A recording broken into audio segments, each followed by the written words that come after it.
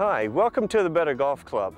I'm Darrell Kestner, and I want to talk to you today about one of the most stressful shots in golf, the driver off number one. You know that if you can get a good drive off number one, get it in the fairway, be able to knock it on the green, make a good solid par, you're off to a good round, a nice fun day.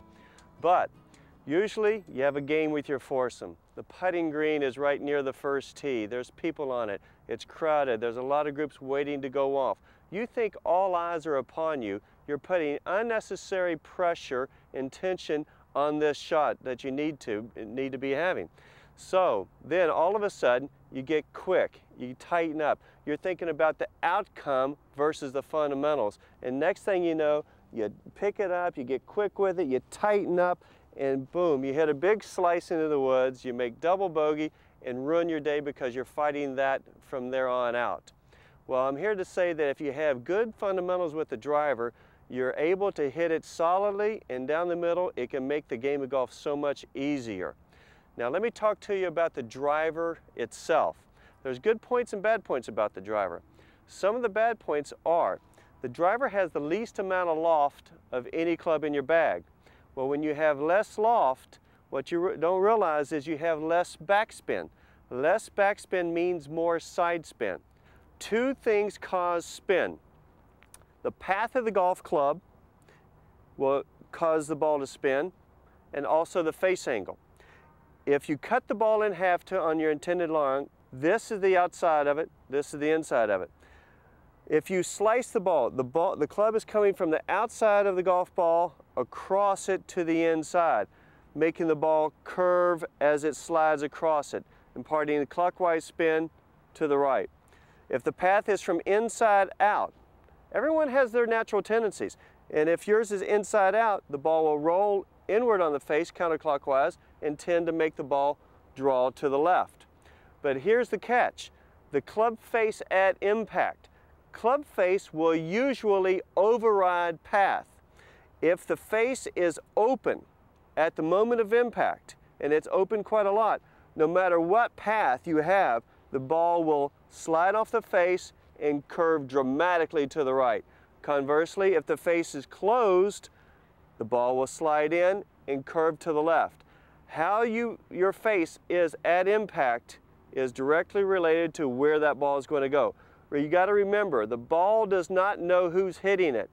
This club face is on that ball one millisecond, one one hundred thousandth of a second. And in that time, it's going to tell that ball what to do.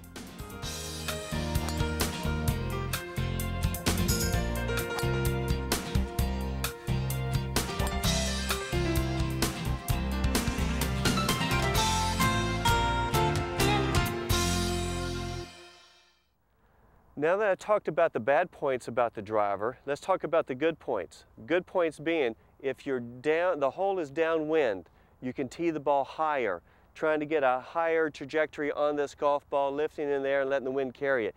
It's against a strong wind. Now tee it down lower, trying to drive it through the wind like that. Those are, these are a couple advantages that you, with ball in hand, you never have a bad lie. So also, under the rules of golf, you have a tee box. And a, the tee box is a rectangle where the, the line goes from one tee marker to the next, two club links back, and then across, forming a perfect rectangle. If your natural shot trajectory is a fade, you would want to go over to the, to the right side of the tee, which is going to give you more room down the left side to start the ball, Start it down the left side and then let your natural tendency of the fade to uh, go back into the fairway. That way you're using the whole fairway. Conversely, if you draw the ball a lot, and that's your tendency, you can go over to the right side. And as long as the ball is teed up inside the box, you don't have to stand inside the box But under the rules of golf. As long as, as the ball is there, now you're having a lot more room to the right to start the ball and then draw it using the whole fairway again to shape the ball in, into the fairway.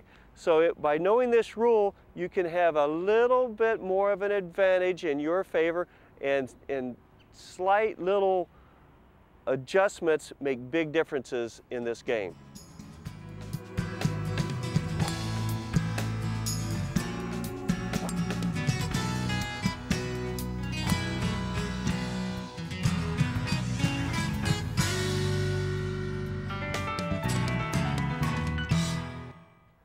Okay, so let's talk about the fundamentals of the golf swing with the driver.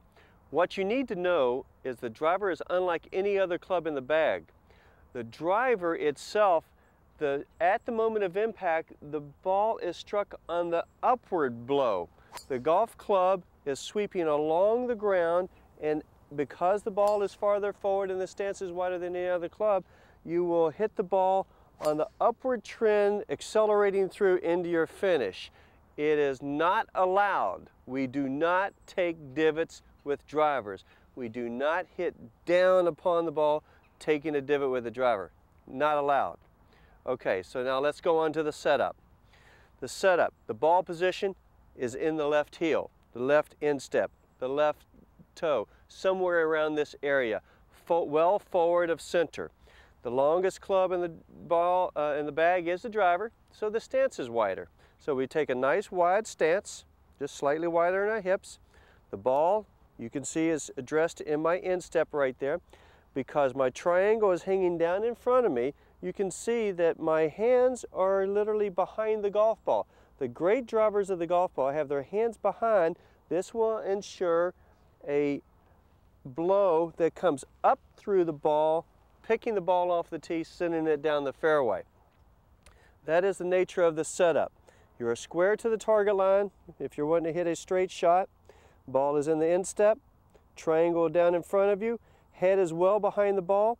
Vertical line would put the ball possibly, probably in the shoulder socket.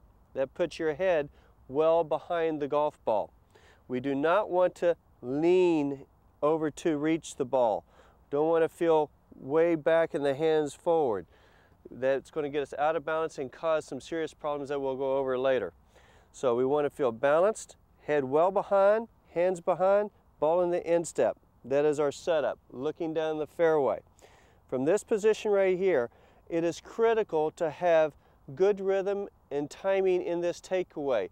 It is your best friend in this swing because it is your biggest arc. We want to have a low, slow sweeping of the club head away along the turf that will give us maximum arc creating a big wide turn, totally coiled behind this golf ball. And if we're coiled behind the golf ball, winding our upper body against a good stable base, you can see in this takeaway, I have kept my right knee flex. If my right knee flex loses, I will tend to tilt and pick the club up dramatically. So I want to keep my right knee flexed.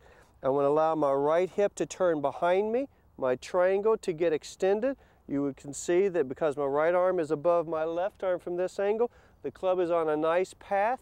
If it were not rolled, you can see my right elbow standing on my side, rolling the club face away, bad move.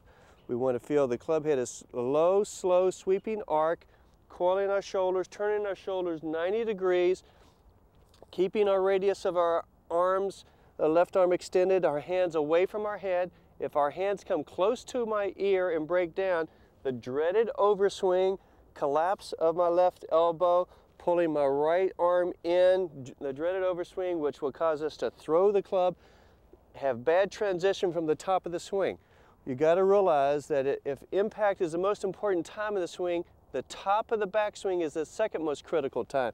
At this point, we want to gather ourselves calmly, quietly in a good transition of going back into the forward side. You can see my first move is a, a shift of my body weight going from backside to forward side, simultaneously allowing my arms and club to drop to the inside, gather myself into this hitting area, and from here, I accelerate into my finish.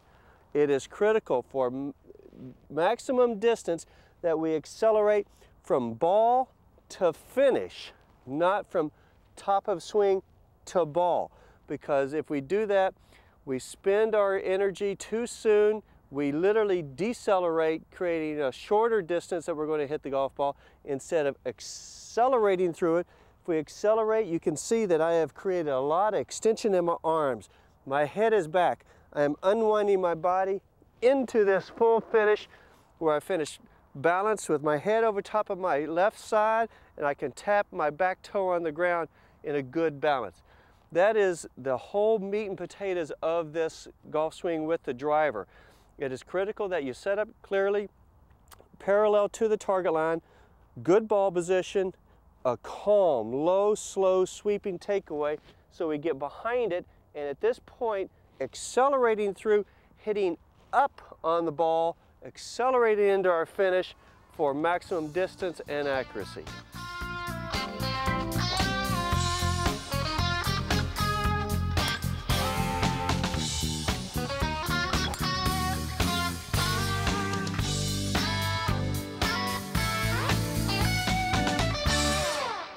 So just as in any aspect of the game of golf, the better the fundamentals are, the better the golfer is. So by working on these fundamentals that we talked about today with the driver, the ball position, the stance, posture, this takeaway, long, slow, rhythmic, calm transition, quiet in your ch change of direction, and accelerating through the ball into a good balanced finish, you can become a better driver of the golf ball and this game can get easier for you.